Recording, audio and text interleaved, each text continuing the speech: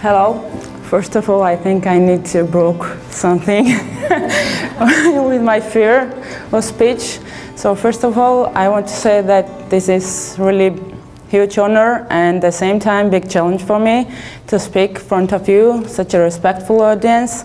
And I will try with my poor English uh, to speak a little bit about myself and about my works. Um, so as far back as I remember, I had a pencil and pen in my hand, so it doesn't matter um, time and place, I always wanted to draw. Um, at the beginning, it was like unconscious um, habit, so Musya stopped drawing and take a book Instead, this was the words I have heard all my childhood from my father, and there was some moments um, when I heard uh, his car voice, car voice, I just immediately um, hide my painting tools and take a book for reading, um, pretending I was reading. So. sooner or later the time came I need to apply to the university. And the art academy was my one and only choice. But at the same stage my parents had uh, like um, zero hope that I will get there. Because all my uh, child and um, school time I was drawing and not doing like school works so um, my application process is um, another story for another time. And um, at the end, long story short, um, I have um, uh, accepted to the art academy and I got both uh, full scholarship and a stipend as well. So this was a really huge, um, proud moment for my father, and he believed in me, and he believed in my strong will. So this was a huge uh, first. Um, horizon of the freedom that I can learn and do the work I mostly loved. So, but um, unfortunately, Art Academy was really huge um, disappointment for me, uh, for my um, expectations, and I tried to take my uh,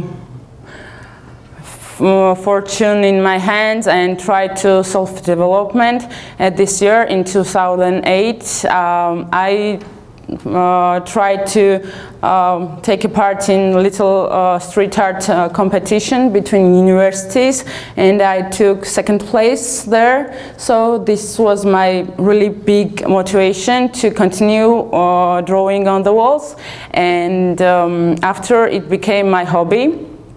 So I didn't stop there and I started working in the famous Georgian publishing house um, and um, it was a big um, like motivation and experience for me.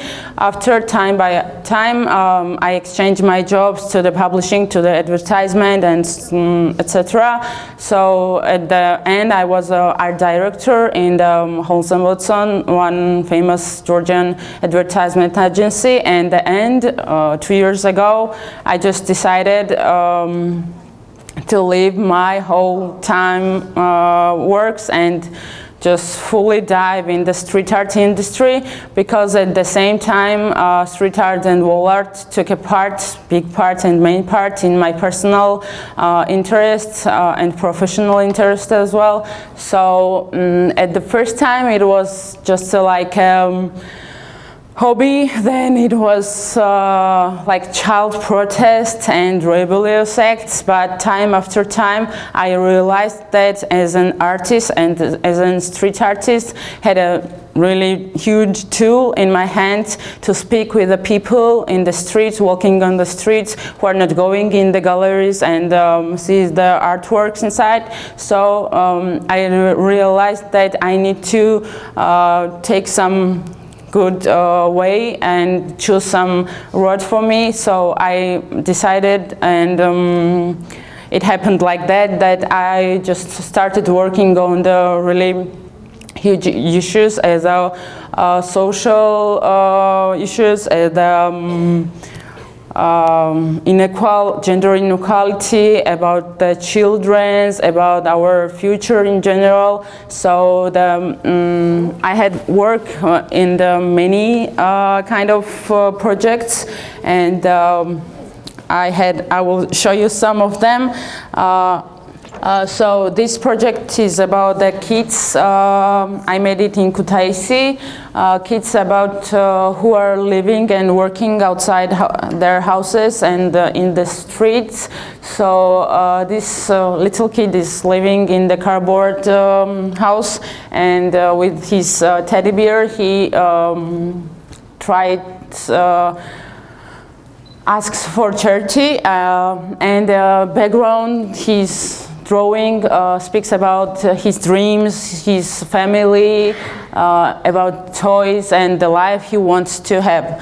So at the first time when I was in the process, when I was drawing this, uh, all the people coming and seeing this child, oh so cute, he's so cute and so well, and after uh, they see the whole picture and um, concept of this and the idea of this painting, uh, they really started to think about the children who are really live these lives and so on. So um, another um, painting I want to share with you is um, the last one, the huge um, mural. I have had uh, the first huge mural, like a 316 square meters. Uh, I painted it uh, in the eight days.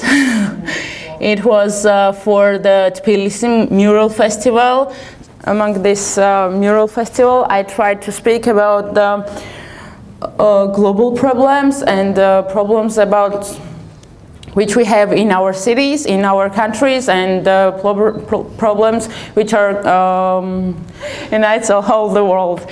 So these are the children, they are angry and they are sad, uh, and they are in front of the problems about the wars, about the um, uh, global warming, about poverty, about the air uh, pollution, and so on. So uh, all these my um, paintings uh, it's a, a, really big pleasure for me to paint something. Um, maybe it's a 12, 16 hours I'm standing with in front of walls and I'm not getting tired anymore.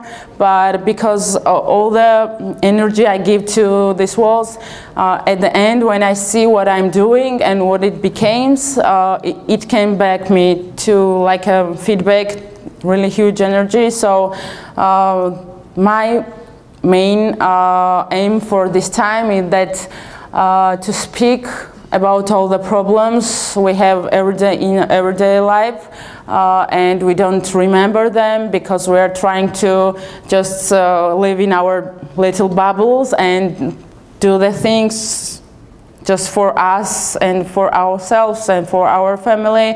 And uh, I think this is um, really huge tool for me to the, speak about the problems and I want to say uh, to the people and the uh, main thing is that I want to take Georgia uh, um, in the main uh, point of the global uh, map in the street art industry as well. Thank you.